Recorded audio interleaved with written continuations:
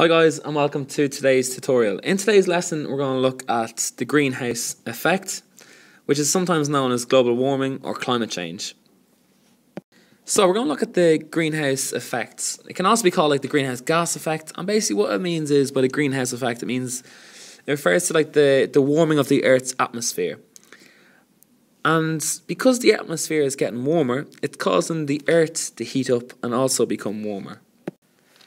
So, as you can see, this is um, the greenhouse effect, okay? And the greenhouse effect is natural and it's really, really good for our Earth because if we didn't have the natural greenhouse effect, well then we our Earth would be would be considerably colder and we would probably not be able to sustain life on Earth, okay? So what actually happens? Well, what happens is the sun's rays from the sun 50% of the sun's rays actually make it to the to the earth. Okay, so 50% of the, the rays actually make it to the earth. The other 25% make it to the earth but are reflected and they stay in the atmosphere. So, to, so 25% are actually ref, reflected away by the by Earth and and they stay in the atmosphere or maybe go back out into outer space. And then 25% are reflected from the atmosphere and straight into outer space.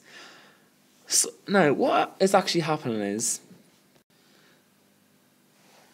so as the rays come down, and because we're burning more fossil fuels such as um, coal, oil, and gas, this is releasing carbon dioxide from the earth into our atmosphere.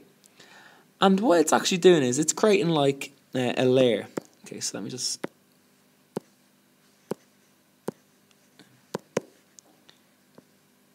it's creating like a layer around our atmosphere.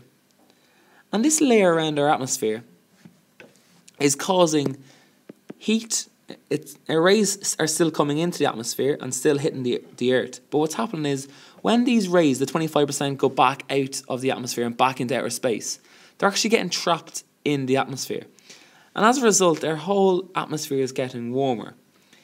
And because of this, this is then causing, because our atmosphere is warmer, it's then causing our Earth to heat up and to get warmer. And this is what we call the greenhouse effect, or what's kind of known now as is the global warming, or even most more recent terms, it's known as climate change. It's causing climate to change on the Earth. So what we're going to look at now is some of the consequences of global warming. So because the Earth is getting warmer, what are some of the consequences that's going to take place? Well, the first one is the change in sea levels. So change in sea levels.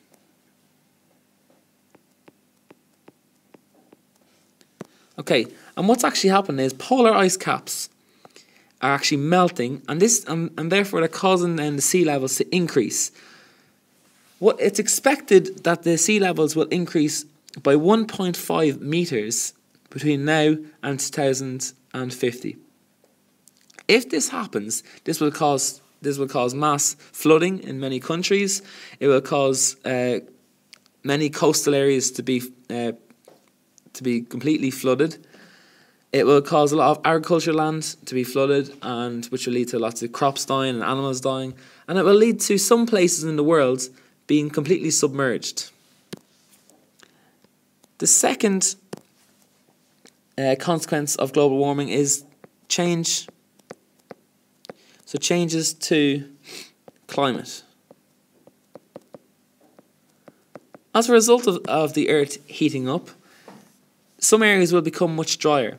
And so more areas will turn into desert, we'll get a lot more desertification. Um, while other areas and other parts of the world will become much wetter, which will lead to huge problems, particularly for farmers who are using the land for agriculture. The third consequence of global warming is an increase in tropical storms.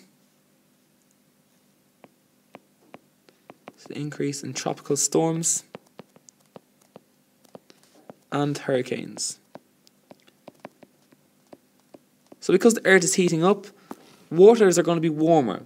And that and hurricanes and tropical storms need to have warm water in, for, in order for them to start. And if the water is now warmer because of the the earth is now is the earth is warmer, this will lead to a lot more tropical storms and hurricanes, which could cause uh, huge damage, such as like the hurricanes that happened in 2005 with Hurricane Katrina and the most recent one in America, uh, Hurricane Sandy. The fourth consequence that I'm going to do um, that will lead to, because of, uh, as a consequence of global warming, will be uh, that some animals, some plant, some plants and animals,